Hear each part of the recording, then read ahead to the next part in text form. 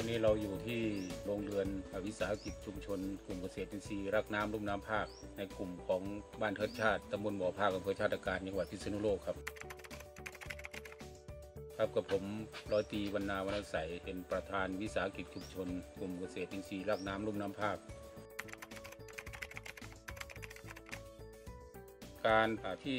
รัษฎรได้รวมตัวกันได้รวมกลุ่มกันเข้ามาดำเนินกิจกรรมในการปลูกผักอินทรีย์ในครั้งนี้นะครับจุดเริ่มต้นก็มาจากการส่งเสริมของทางทีมงานรักน้ำเพื่อพระแม่ของแผ่นดินจังหวัดพิโลกนะครับ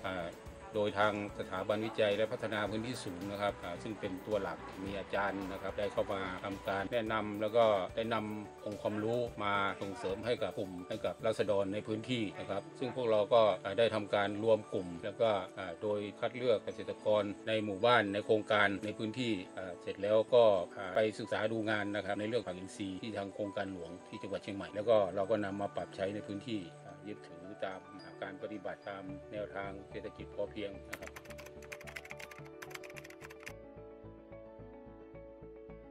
สำหรับเรื่องน้ำเนี่ยก็จะเป็นปัญหาที่สำคัญในในในการทำเกษตร แต่ว่าเราก็พื้นที่ตรงนี้มันเป็นเป็นป่าภูเขาหลักๆ ก็คืออาศัยน้ำจากจากต้นน้ำไอ้น้ำประปาภูเขาครับก็มันมันก็แล้วแต่ละโซนมันถ้าส่วนไหนที่มันขาดขาดแคลนแล้วก็เติมโดยทีมงานของทางฝ่ายส่งเสริม หรือทางทางอาจารย์น่ะบางทีเราก็ต้องแก้ปัญหา ถ้าน้ำหลักมันไม่มีเราต้องใช้แบบความรู้ทางสกสเอามาเสริมเข้า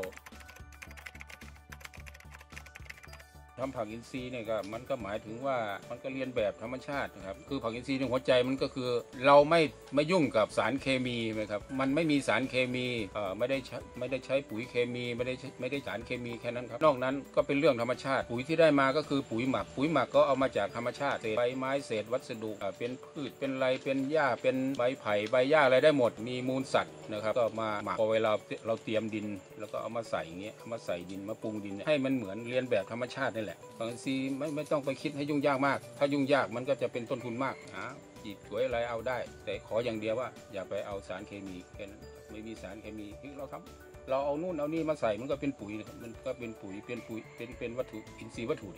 ถ้าเริ่มผักอินทรีย์มันก็คือเริ่มจากอ่าเตรียมดินเพาะกล้าเนี่ยก็เป็นเรื่องสำคัญเริ่มตั้งแต่เรื่องเพาะกล้าเพาะกล้า แล้วก็ลงดินพอลงปลูกก็ดูแล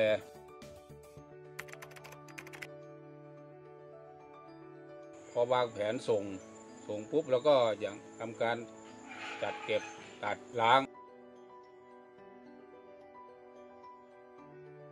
แต่ว่าเขาเรียกว่าส่งวัตถุดิบครับ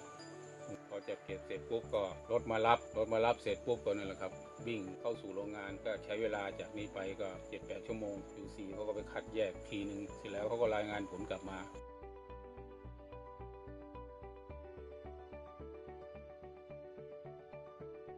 ปฏิบัติตามกฎระเบียบของการทำผักอินทรีย์ มันก็เลย